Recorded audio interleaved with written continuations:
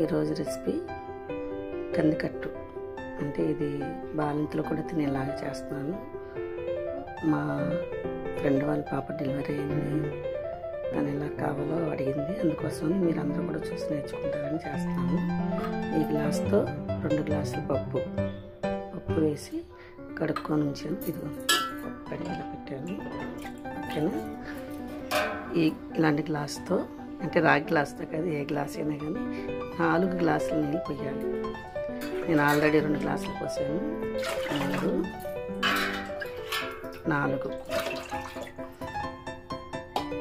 ఇలా నాలుగు గ్లాసులు నీళ్ళు పోసి పొయ్యి మీద పెట్టుకున్నాం ఉడికిన తర్వాత దీన్ని ఏం చేయాలో చూపిస్తాను.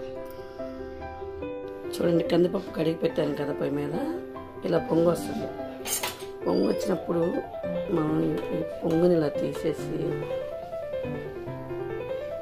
పడేసుకున్న తర్వాత దీంట్లో బాలింతకి అని చెప్పాను కదా నేను. మామూలుగా మనం ఎవరైనా చేసుకున్నప్పుడు అయితే ఏ నూనె వేసుకోవచ్చు. ఇప్పుడైతే బాలింత కోసం ఇదిగోండి ఇది పప్పు నూనె. అంటే ప్యూర్ నువ్వుల నూనె. నువ్వుల నూనె వేసుకుంటే అసలు మామూలుగా వెజ్ నాన్ వెజ్లోనూ వదలకుండా తినేలాంటిది ఇది.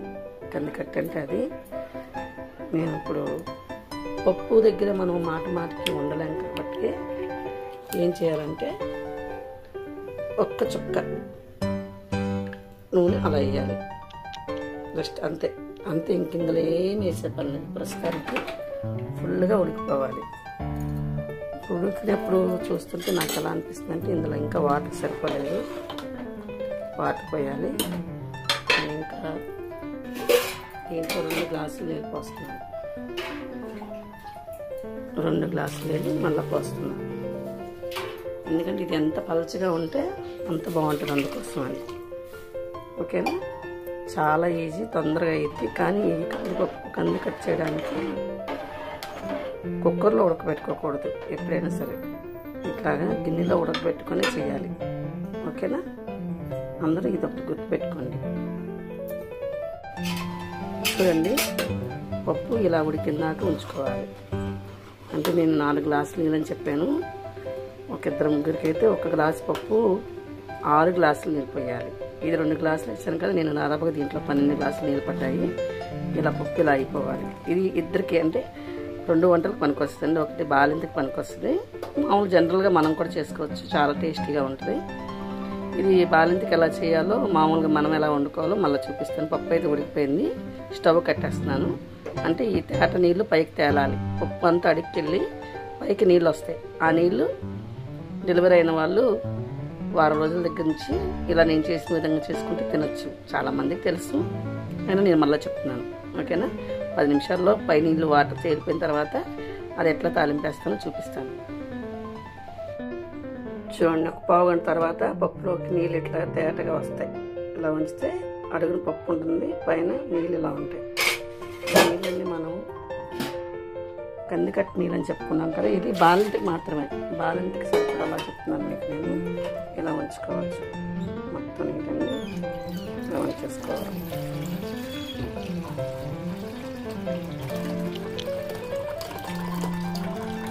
పప్పు ఎక్కువ రావకూడదు రానివ్వకూడదు. అంతే. ఇంక ఈ పప్పు ఆపేసుకొని మనకు నచ్చినట్టుగా దీంట్లో టమాటా వేసుకోవచ్చు లేకపోతే ఇట్లా ముద్దపప్పులా వేసుకొని మామిడికాయ పచ్చడి నెయ్యి వేసుకొని మామూలుగా మనం తినేయచ్చు. ఓకేనా?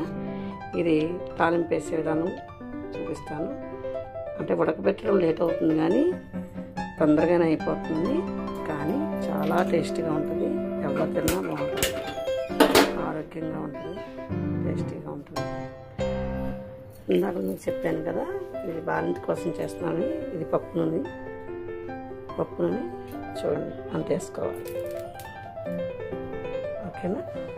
అంటే ఒక మూడు స్పూన్లు. మూడు స్పూన్ల పప్పు నూనె వేసుకొని నేను ఇక్కడ రెడీ చేసి పెట్టాను చూడండి. ఇవి పెద్ద పెద్ద ఎల్లుల్లిపాయలు అంటే ఎల్లుల్లిపాయలు గుడ్లు కొంచెం పెద్దగా ఉన్నాయి. తొక్కలు తీసేయాలి. తొక్క తీసేసి ఒక ఐదు ఎల్లుల్లిపాయలు ఒక స్పూన్ జీలకర్ర.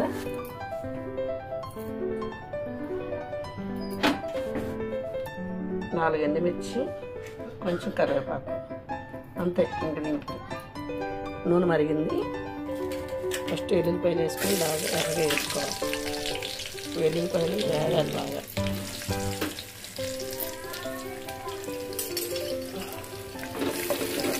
దీంట్లో తాలింపులు వేసుకోకూడదు. అంటే ఆవాలు బాలింటికి ఆవాలు వేస్తే అరికాళ్ళు మంటలు పుడతాయి. కాబట్టి డెలివరీ అయిన వాళ్ళకి కందికట్టి నీళ్ళు చేసినప్పుడు తాలింపులు వేసుకోకూడదు. విడిగా మనం చేసుకున్నప్పుడు తాలింపులు వేసుకోవచ్చు. ఓకేనా? గుర్తుపెట్టుకోండి. నేను రెండు రకాలుగా సరిపడలా చెప్తున్నాను. వెల్లుల్లిపాయలు ఎక్కినాయి ఇప్పుడు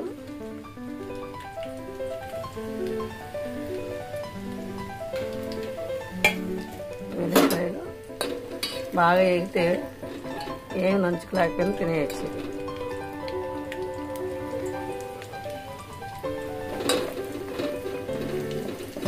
అన్నంతో పాటు ఈ చెక్క నంచుకుంటే బాగుంటుంది.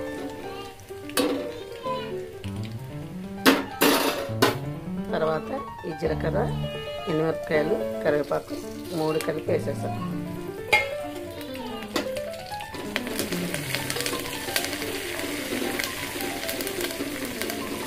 ఇందులో పచ్చిమిరపకాయ కూడా వేసుకోకూడదు. విడిగా మనం చేసుకోవాలనుకున్నప్పుడు ఇదే నీళ్ళలోని ఒక ఉల్లిపాయ ఒక పచ్చిమిరపకాయ రెండు మూడు పచ్చిమిరపకాయలు కొంచెం కారం పసుపు వేసుకొని తాలింపు వేసిన తర్వాత మరగపెట్టుకుంటే బాగుంటుంది. ఇది బాలింత కోసం చేశారు కాబట్టి నేను దీంట్లో తాలింపు లేదు పచ్చిమిరపకాయ లేదు పచ్చిమిరపకాయ కూడా తినకూడదు. చిన్నపిల్లలకి వాళ్ళు మోషన్కి వెళ్ళినప్పుడు ఇబ్బంది పడతాయి పచ్చిమిరపకాయలు వేస్తే అంటే నెల దాటిన తర్వాత వేసుకోవచ్చు ఈలోపు వేయకూడదు. అందుకోసం వేయట్లేదు. ఓకేనా? మనం పెద్దవాళ్ళకి కావాలని చేసుకున్నప్పుడు అయితే పచ్చిమిరపకాయ వేసుకోవచ్చు ఒక ఉల్లిపాయ కొంచెం కారం కొంచెం పసుపు. దీంట్లో పసుపు కూడా నేను వేస్తాను అప్పుడు. తాలింపు వేగుతుంది. టేస్ట్ ఉంటుంది. ఆరిద్ది చూడండి పసుపు కొంచెం పసుపు చెప్తే ఓకేనా? అయిపోయింది. ఇట్లా వేసుకొని మనం ఈ వడకట్టే నీళ్ళు తాలింపులో పోసేసుకోవాలి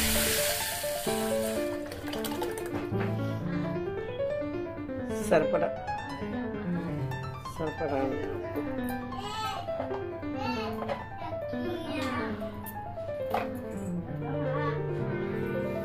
ఓకేనా? వేసుకుంటే వచ్చిన తర్వాత కట్టేసుకోవడం ఓకే ఇటు ఒకసారి పొంగు వచ్చింది అయిపోయింది ఇంక దీన్ని కందికట్ కందికట్టు నీళ్ళు అంటారు అంటే కంది నీళ్ళు అంటారు. కందికట్టు వేరే అది ఇంకొకసారి చేసి చూపిస్తాను నేను. ఇవి కంది నీళ్ళు మాత్రమే. ఓకేనా? ఇందులో పప్పు ఉండదు కందిపప్పులా ఉంటుంది.